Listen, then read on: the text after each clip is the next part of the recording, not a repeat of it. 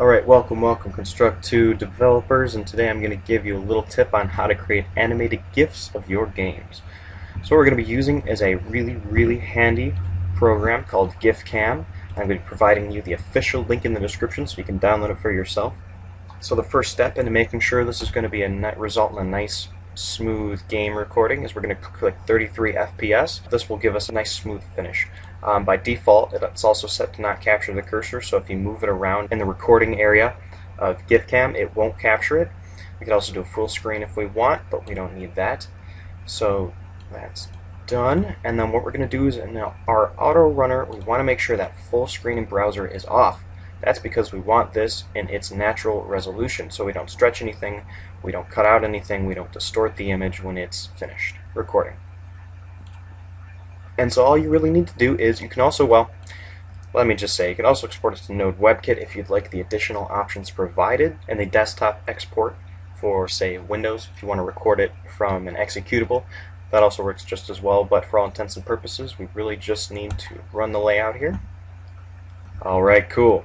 So we've got our game right here. We're going to go into GIFCam and going to size this to the game by hand. Unfortunately, there's no automatic setting to do this, but you know, it's not a big deal. So we're just going to do this. We're going to make sure. Da, da, da. All right, cool. And once this guy is about dead, I'm gonna. That's when I'm gonna hit the record, so we can make it look like it's a whole new game. All right, so we're gonna make it look like we're playing here. Show your potential players what this game is all about. Alright, we're going to rack up a good score here. And pretend to die. Oh no, oh no. So we're going to stop it there. And then what we're going to do is we're going to go and actually, sorry, before I do that, we're actually going to go to edit, now that I remembered. Because as you saw, I actually started the recording right before the character fell into the pit. So what we need to do is we need to make sure that we actually edit this out. So we're going to delete this frame, and it might take a little while to remove frames.